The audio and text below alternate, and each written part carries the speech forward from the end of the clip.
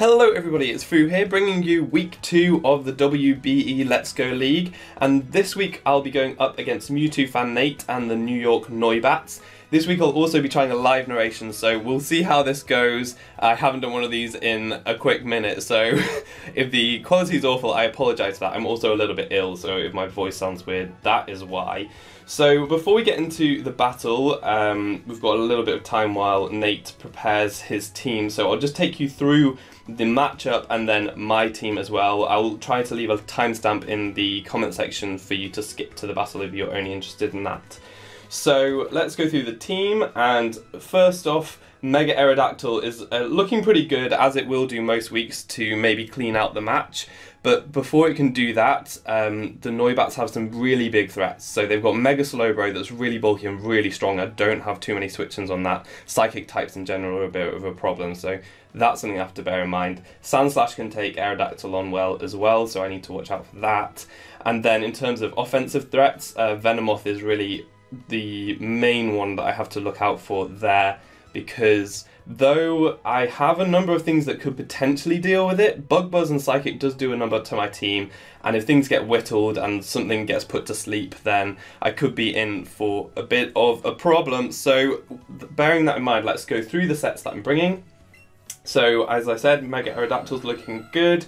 We've got the Rock Slide and Earthquake, which deal with pretty much all of the team. Crunch is just there to deal a little bit more damage to Mega Slowbro, but it was kind of a free slot. So I'm not really sure if Crunch was the best thing to put there, but that's what's ended up there. And then Roost, to try and keep myself healthy, I decided not to have this as my Stealth Rocker because I didn't want to have to bring it in too many times early game. Um, this thing, Nidoking, is going to be my Stealth Rocker. Really important because I do want to get that damage on Venomoth as well as any chip damage I can get on Mega Slowbro because I really need to chip that down before I can clean up. Um, we've got Ice Beam there for the Sandslash, basically, that's the only really the only thing that will hit harder than Earthquake. Um, and then also Thunderbolt to do a little bit more damage to Mega Slowbro again, um, and Stealth Rock as I said. Then we've got Snorlax, his debut.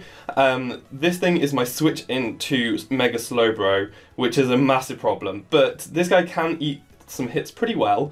Um, we've got Facade on there in case I get a Scald Burn, but I think Psychic spamming is probably more likely. So that's really just wish wishful thinking. But Toxic Protect is the way to whistle down Slowbro to put it in range of Aerodactyl. And also Seismic Toss does a good number too. I think um, Seismic Toss does like just, it's just under a three hit KO, but with Toxic, hopefully that'll be a three hit KO, quite an easy three hit KO.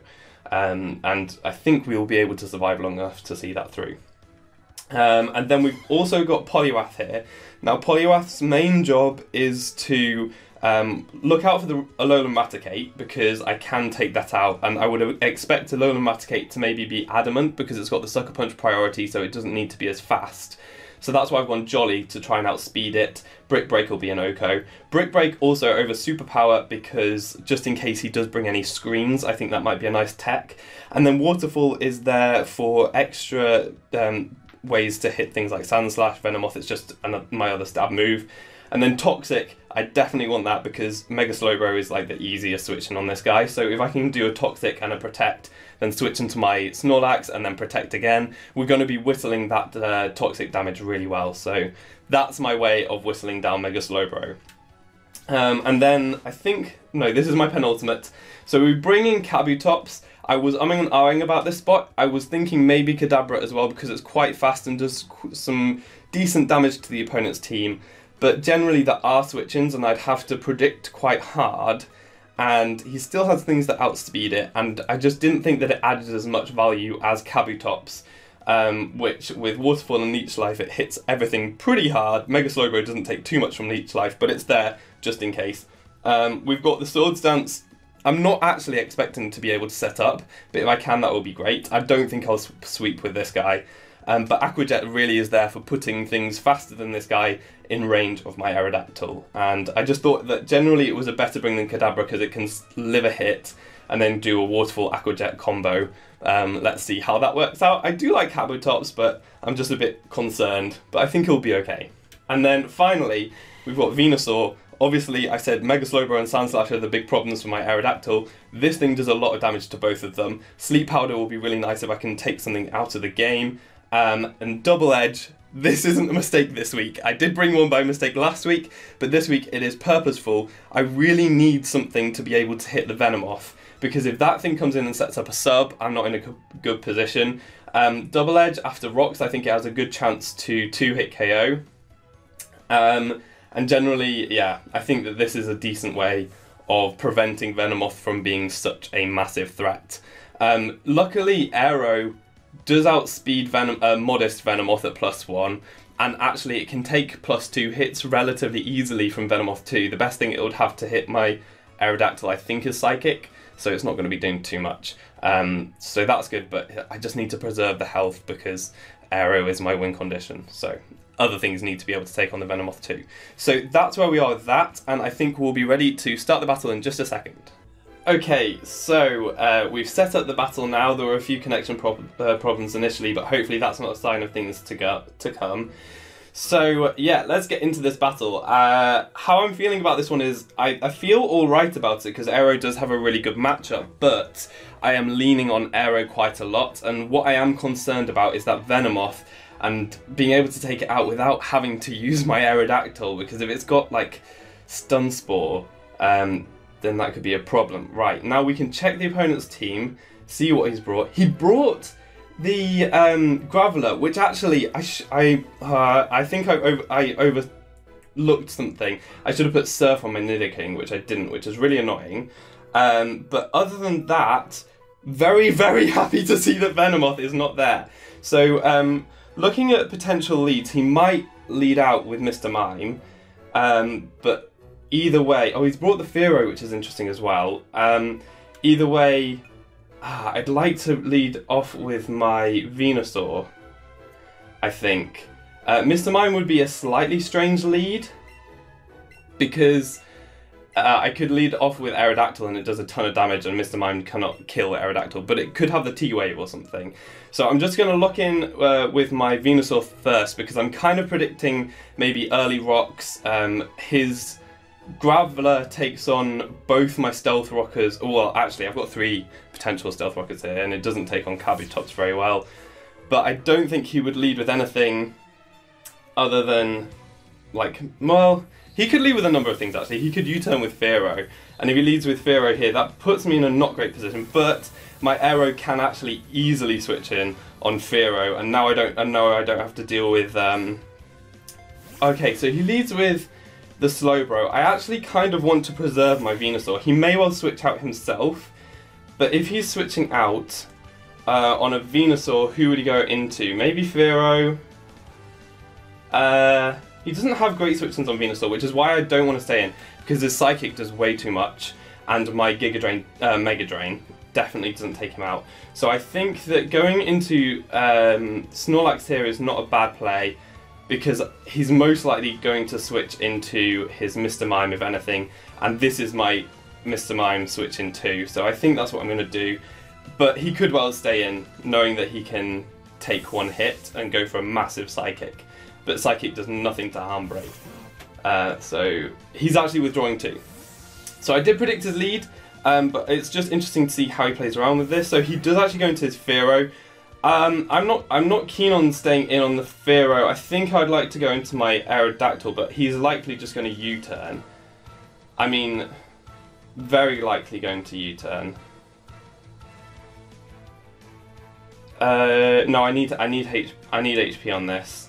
So I think, or I could go into my Nidoking here, but it would give him a free switch into whatever he wanted. So I think going into my Aero is fine, because he'll U-turn, probably go back into his um, Slowbro, and then I can easily switch back into my uh, Snorlax on that. So yeah, the U-turn does come out, which is fine. I do have Roost on this, so in terms of worrying about uh, rock switch-ins, that's fine. He might actually go into Graveler here, which is, is fine with me because I've got a much easier switching on that. I can go straight back into my Venusaur um, and put something to sleep is probably the best play there. So he goes, he does go actually go into the Slowbro. I don't have as good switch-ins on Slowbro. He might actually just go for a teleport here. Um, but that's fine, we'll go back into this. If he gets his rocks up, then that will be very good for him. So Yeah, I really want my rocks because it looks like he's gone for like um, a momentum team. Pretty much almost everything I think on his team gets momentum. Oh no, Raichu doesn't get teleport. I thought Raichu might, but um, Mr. Mime gets teleport. So I wouldn't be surprised if we see a teleport here or just a Psychic or a scald. Maybe a scald. Scald would be good because we have the Facade. So a Toxic comes out. Um, I'm I'm tempted just to fire off a Facade right now because it's going to do a decent amount of damage. Um, I think it does, what, about 40 to this thing. Uh, no, it doesn't. It does about 32.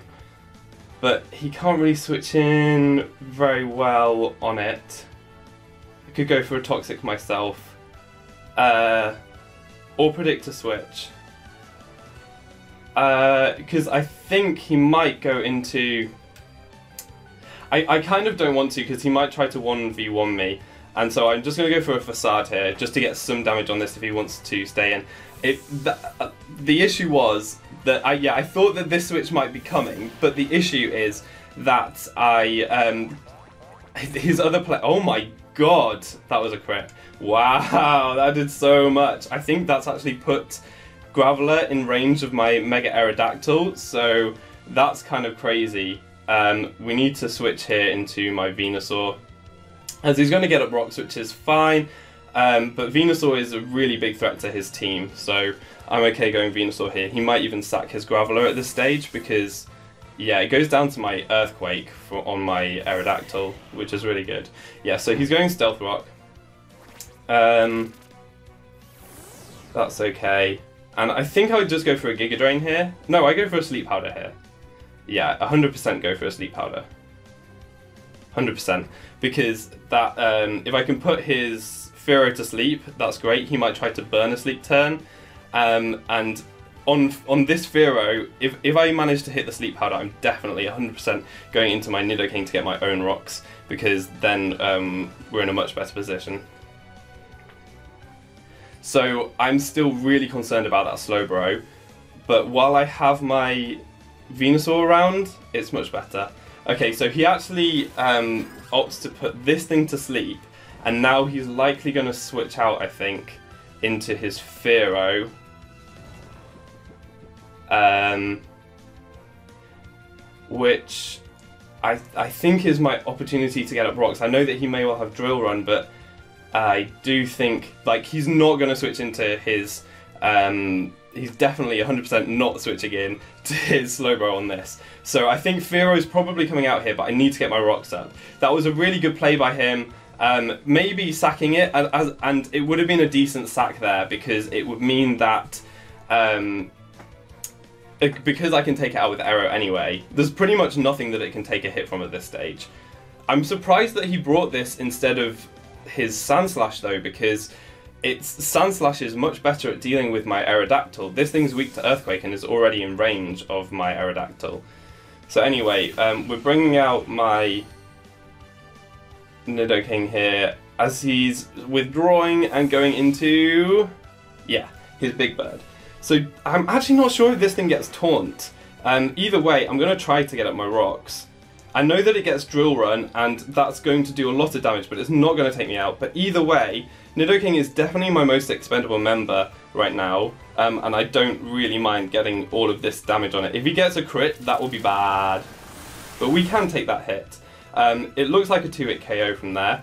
I think what will happen here is we might see a U-turn as he predicts my um, Aerodactyl. Now, do I need this for anything specific? Let's have a look at his team again. Do I need this? Ah, I, I want it for his Raichu, but I also have my Venusaur. But I do kind of want this for my Raichu, but I'm really thinking he's going to go for a U-turn here. Really, really thinking he might go for a U-turn. So I'm actually going to predict that and just go for a Thunderbolt. Um, I really think he's going to go for the U-turn. Yeah, he went for the U-turn, and most likely he's if he goes into Slowbro, that will be amazing. Um, I, I really don't think that he'll be going into Mr. Mime unless he just wants to sack it. He could well go into his Graveler here actually, which I think is a bad play. I've got the Ice Beam, so Ice Beam is my best way, the best um, move to click here, because if he goes into Fearow scouting for anything like. Um, if- yeah, if he goes into Fearow scouting for anything like Earthquake, I would have caught that too.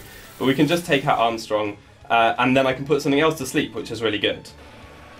So, in all of that, that was an, that was an alright turn of events, I think. We've got the rocks now, so that Fearow is a lot less of an issue. Um, the U-turn is annoying, and it will be forcing out my Venusaur, which is one of the biggest threats to his team. But I kind of want to keep this thing around, if I can, just as an electric immunity. Raichu is still there, so if I can keep this for Raichu, that would be good. Uh, but I still have my Venusaur. Raichu is 100% OHKO'd by uh, Aerodactyl. So we've got Mr. Mime coming out right now, and I do feel like preserving this. Um, I feel like, do I should I keep should I keep more health on? I mean, I do. I actually do more damage to Slowbro with my Nidoking. So uh, I'm, I think I'm going to just switch into Humbro because now he has no switch-ins to Facade. Facade does so much to everything. But if this thing is sub, then I've just made a bit of a mistake. I think he's unlikely to go for sub here though. He does! Ah! Okay, so it's a little bit of an issue. I think he's actually, he might be able to 1v1 my Snorlax. But what this means is that um, I can then get in my Aerodactyl and click Crunch. By the time that he's taken out my Snorlax, the uh, Mr. Mime will definitely be in range of Crunch. And if he switches out to anything, I think I can take it out with my follow-up move. Um, so that's good. So Psychic's not going to be doing much.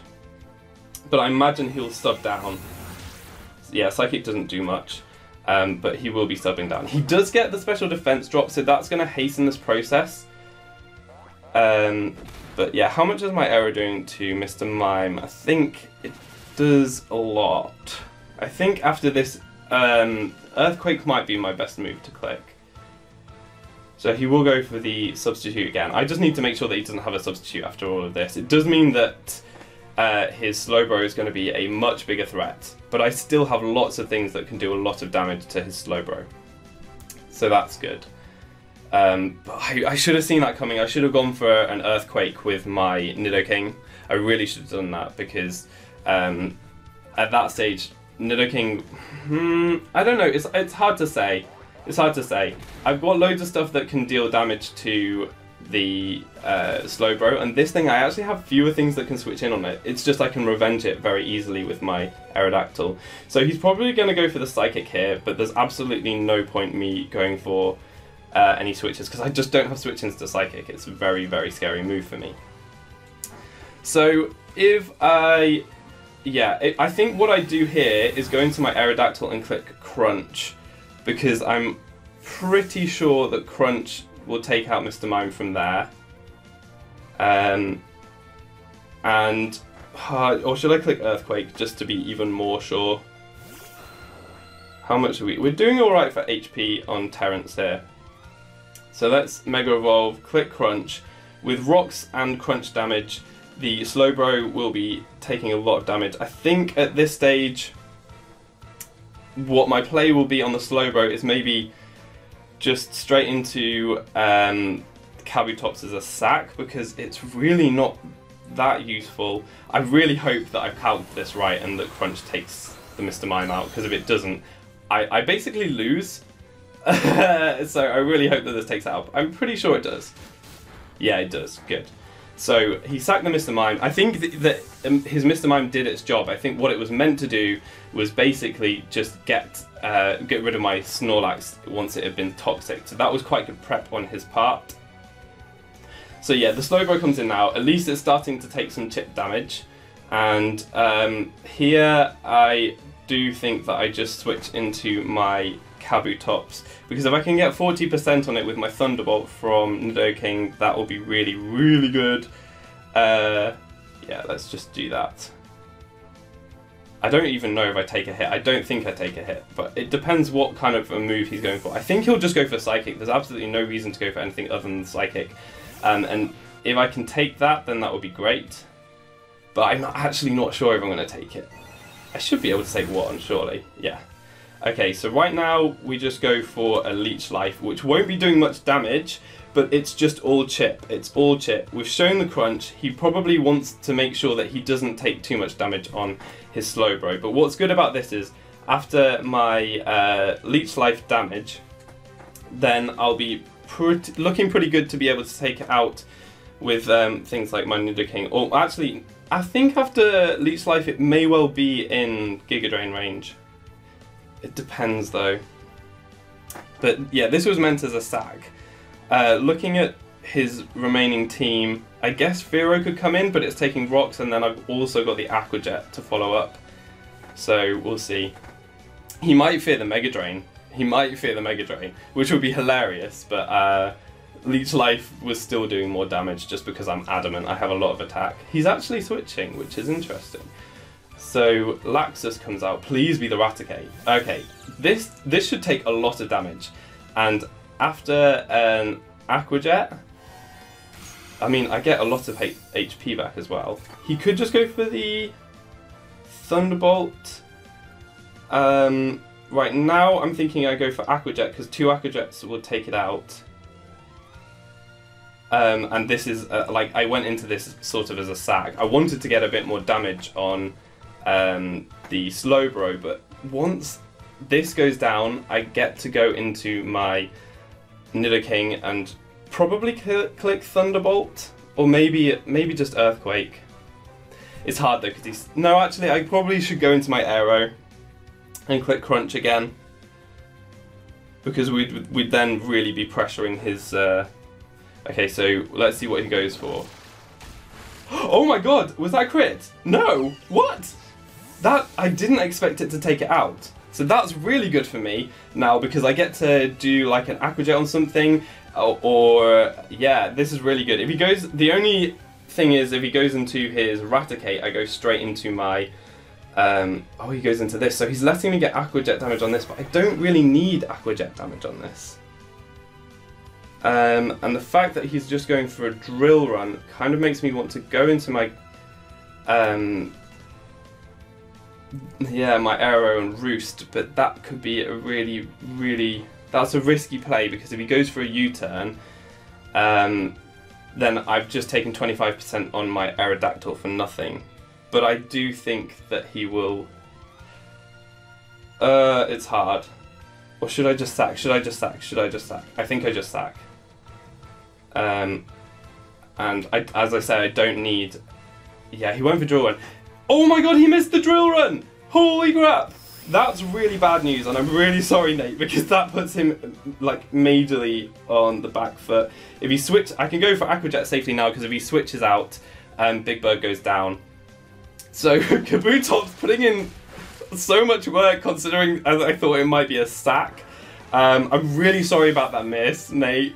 Uh, this puts me in a really good position right now because Slowbro may well have to take this Leech Life hit. It doesn't actually do that much damage. He would have been uh, much better staying in. But I say that, but Slowbro is 100% his most important Pokemon because it takes on so many things on my team. At this stage, um, it will have to take on too many things, I think. Um, his only win condition here is Alolan Raticate going for a Swords Dance.